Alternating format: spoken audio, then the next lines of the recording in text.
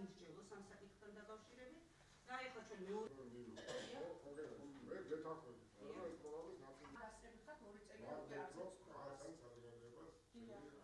ჩატარდა მორიგის აკრებულოს ხდომა. აღსანიშნავია მათ შორის ერთ-ერთი საკითხი, რომელიც შეეხება სტუდენტების დახმარების პროგრამას სწავლით დაფინანსებასთან დაკავშირებით. მე მინდა აღვნიშნო, რომ აქამდე ჩვენ პროგრამით მიღებული ქონდა 91 ქულიდან 100 ქულამდე სტუდენტებისათვის სწავლით დაფინანსების პროგრამაში დახმარება ამ კუთხით, მაგრამ ბიუჯეტმა მოგცა საშუალება და ჩვენ შესაბამისად 76 ქულიდან საკონსტიტუციო სათათბირო ჯგუფის მიერ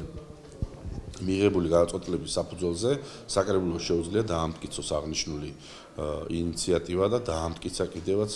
და მინდა ვთქვა რომ ეს არის კიდევ ერთი წინადადგმული ნაბიჯი, ანუ პროგრამის კიდევ უფრო გაფართოება,